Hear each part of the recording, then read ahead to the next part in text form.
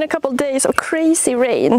We even had a power outage for, for a little while and we did a test with the battery bank, which turned out really good. Of course, we don't have solar panels up yet and it's not connected, but we um, flicked the switch, basically ran the house off of the battery bank, which wasn't fully charged, but it was a successful test and it worked really well and it got me motivated to get this going. So in between rain, we've been out here doing a little bit of building here and there. I haven't really filmed too much, but I wanted to show you where we're at. So what am I talking about? Well, we're building a solar array pergola with a rather fancy playhouse underneath. I've made two videos about this build so far. You can pause this video right now and catch up if you want. Last when we left off, I was putting up the walls, that sectioning of the garden shed from the playhouse area. Corner angle of windows. So the windows have now been put together, like put in properly with uh, with paper and caulk or the goop. Anyway, I actually have a video of how I put the videos in on my, my little workshop. If you want to see how I did that, you can check that one out. I go through the process completely. Windows are in and we got some uh, some trim around the windows, which really kind of make them pop. When there are window trims, I think there's two camps, right? It's the mitered corner trim and it's this one, which is more like the craftsman style trim. This is the, like my preferred trim. I mean, partly because it's easier, right? You don't have to get those miters perfectly, but I also rather like the look. I think it looks a little bit more utilitarian. I like it. I did the same thing on the house there.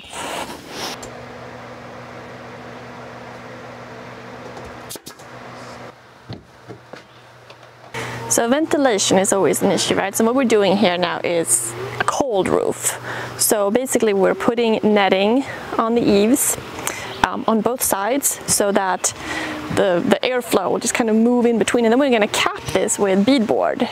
So it's not going to, you know, it's going to be like on top of the structure itself. So we're just cutting up an old screen door for the netting and stapling it into each section. And you can see it's been raining and so we've had some splatter coming up here. Now the idea is we're going to put gravel that whole area and more gravel here too. We just picked up a couple of bags to try to uh, prevent too much splashing from happening. Okay, so here we prepared some wire. and this is flexible wire. These here will just plug into the lights. So you have these little connection points and then just click into each other. Yeah, I know and then they'll go into the ceiling like this. Works quite this is, you know, a two by four roof and these fit into that space.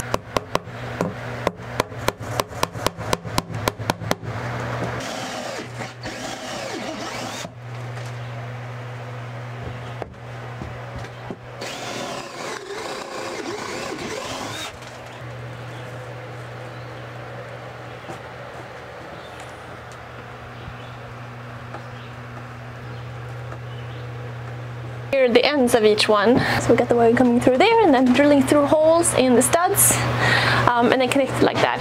I was thinking um, having like like wired in lighting certainly like puts this um, in a slightly different category from like basic playhouse. Uh, but it's just one of those nice features and especially if you wire it up and then all you do is plug it into the solar generator. I mean how cool is that? And then because we have solar we'll just be able to power it like that so it will be like its own little self-contained unit right? Where power is coming in, power is being used. For lighting, we'll have a switch on the wall. You can just turn the switch, the lights come on. Plugged it in there. Testing them out now. So six of these, altogether using 58 watts.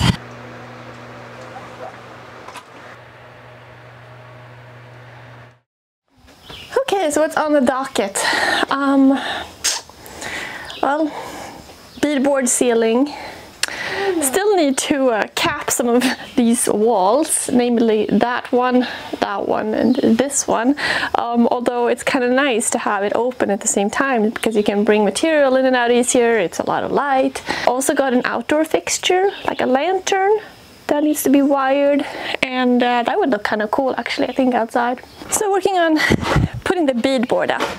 So the tricky thing, well the tricky thing is that we have these lights coming down right so we need to mark out where the lights are going and then cut holes so that they can fit through. One thing that's kind of good about beadboard is that you know you already have the ridges or, or the design so it's easy to measure out. So this is the first piece that's going right up there.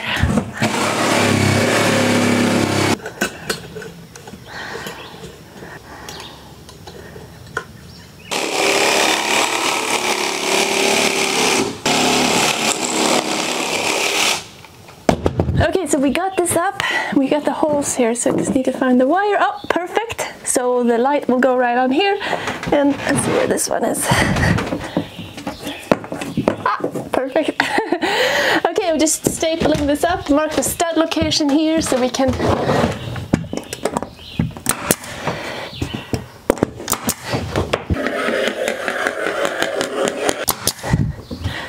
Well, it definitely cleans it up a lot.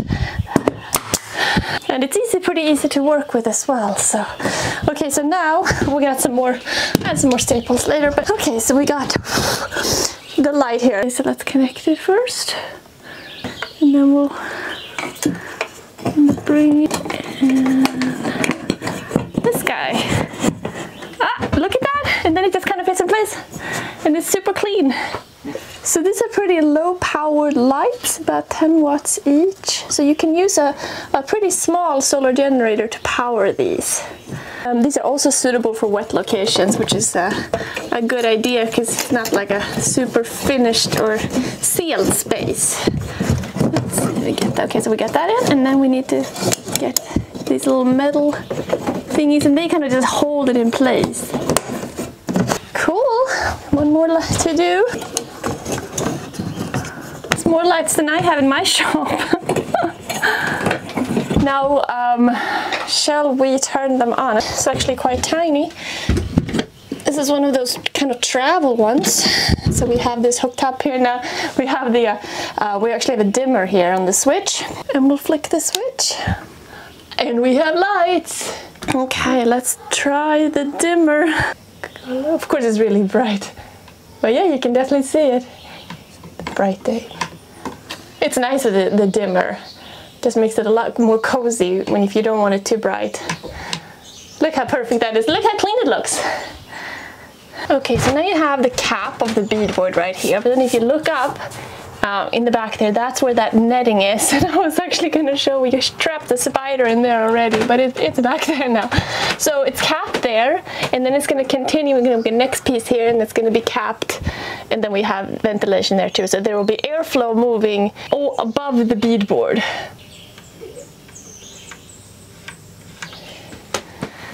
Good morning, brand new day. So today, hoping to make a lot of progress, going to close up the remaining walls um, and do a lot of painting, trim work, a lot of miscellaneous stuff. yeah, I'm so glad. Yesterday I was thinking but should I sneak in a little painting, but the weather was like a little iffy. But I was like, okay, I, will wait. I'm so glad I waited because we had the most epic downpour last night for like an hour of just. But today we um, are not gonna have any rain. It's gonna be beautiful all day.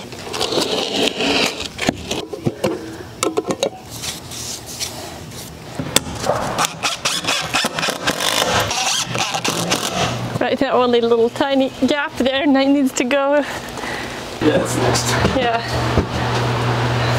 So I got the cap piece on here, looks different. So now I'm just caulking everywhere. So all the seams, sometimes we have like overlap, right here. Hey Darwin, get out of the sun.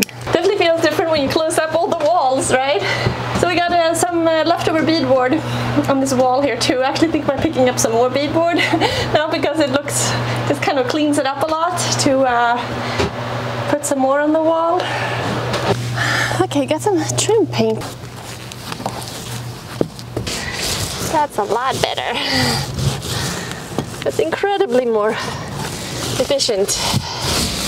Since this is up a little bit, we definitely needed some some steps. Here's there is a, a basic little stairs. And if you're curious as to how I built those, then please check out the stairs video I published a couple of days ago. It's a simple, basic build. And when I put it up on Instagram, I got so many questions about it, I figured it might need its own video. Sometimes simple is exactly what you want. There's a fair amount of, of little gaps here and there which I don't mind at all, you know, that's why that's why we got caulk and we got trim and we got gap fillers and things like that. Now up here, um, I don't actually care about capping this because this is where we have the netting on the inside, so we have that uh, cold roof, so we have the ventilation going, but on the sides here, like on the on these corners and stuff, that's where we don't want, you know, moisture to come in or bugs or whatever. So, funny thing with trim, when you are thinking about capping things, like you can go on forever capping things, right? Everything looks better with trim. And it's just a question of like to what degree do you take something like this? Because obviously it's like a playhouse, it's not like not a finished space. Um, but there are like aspects of it which makes it feel like a finished space. We just ordered a rug and there's gonna be a hardwood floor in here, mostly because we'll have some leftover hardwood flooring. But I mean, obviously it's not conditioned. There's no insulation in the walls or anything like that. So it's livable, but up to a point, right?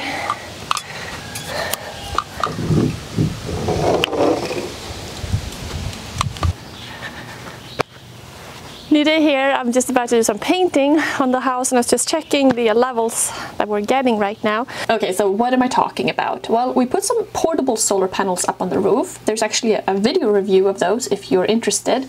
But basically I just thought it would be a good test until we put up the rigid panels to see what kind of sun exposure we are getting on the roof and we have the energy from those solar panels funneling into the portable battery inside. So as of this point, the little house is self-supporting in terms of energy. So we just got some shade on the solar panels, and remember, since they are in series, they act as one. So if we're getting some shade on one panel and the other one is in full sun, it shuts down like both of them at the same time. So currently we're only getting 98 watts. That's not good. I mean, that's just how the way it works, but in terms of planning out for this future project, in terms of putting up more, a lot more panels on there, that's why you want to have some some in series and some in parallel. So at this point there, there's like part shade. So it's like we're getting 293 watts coming in, which I actually was kind of surprised about. I thought that was a decent amount with part shade. It's kind of hazy today. Ah, 326. So after yesterday's downpour, everything's a little wet. We have gravel coming soon, so I was going to start putting down filter fabric here in the front. Our neighbors' farm animals are in rare form this morning. They've got chickens and goats, and they're quite loud sometimes. So if that's what you hear in the background. so we have enough to cover most of this, but we have ordered some more. I have been looking forward to this gravel because first of all to not have this mud clay area when it's raining um, but also because it will just section off the space so much and clean it up. Gravel is by far one of the cheapest and easiest ways to create a patio area. If I wanted to spend more time and money, then laying a brick patio would have been cool, but that is a whole other beast. The underlayment fabric I'm just putting down here to avoid weeds coming up through too quickly.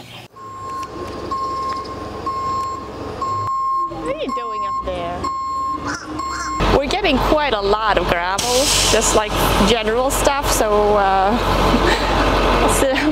how much it is. Um, seemed like a lot when we ordered it. If you ever wondered what 3 cubic yards of gravel looks like, 10 truckloads worth, you've got your answer. I know, it doesn't really look like that much, does it? But this is 10,000 pounds.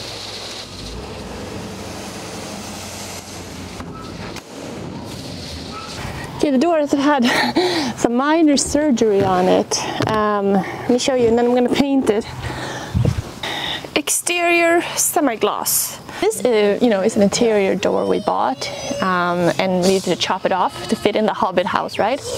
Um, now the reason why it's interior because we're looking for a narrow door. This is actually a closet door, so um, it uh, this is kind of what it looks like inside we chopped off a little bit more here now because since it is hollow we needed to cap it right so we put inside here we chopped up a little bit more but put sawdust in here mixed with epoxy and then capped it with this piece of white oak that also has epoxy on both sides and any gaps or anything like that.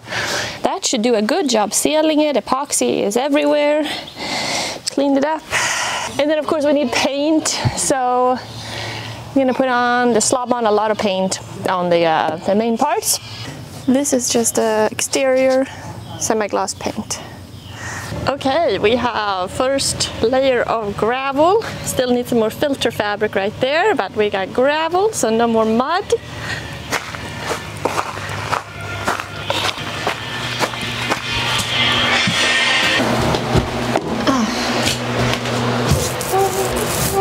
So, oh, now it got dark.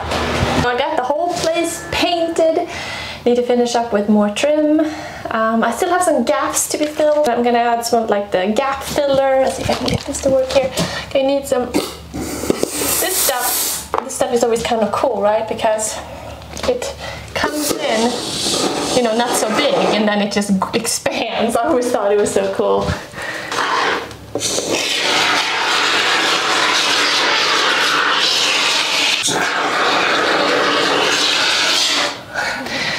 Paint really cleans things up, doesn't it? It looks good. Um, of course, not done. There's a lot of little things left to do in terms of the house. Um, and then of course the solar, which is like a whole other thing to get into. Next step, I want to focus on the inside and do a flooring. I want to do a, a nice oak flooring. So that's gonna be cool. Thanks so much for watching guys and uh, I'll see you soon. Bye.